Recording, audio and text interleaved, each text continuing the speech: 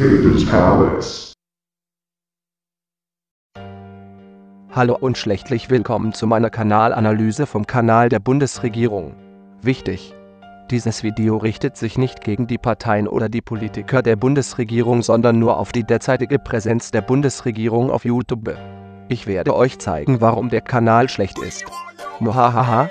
Hier haben wir mal ein Video, in dem die Kanzlerin sich erstmal mächtig feiern lässt klicken wir auch gleich mal darauf. Nun können wir aber feststellen, dass man hier nicht einfach so seine Kommentare unter die Videos schreiben kann, da diese vom Uploader erst genehmigt werden müssen. Damit werden ungünstige Meinungen aus Sicht der Regierung unterdrückt. Schlecht muhahaha.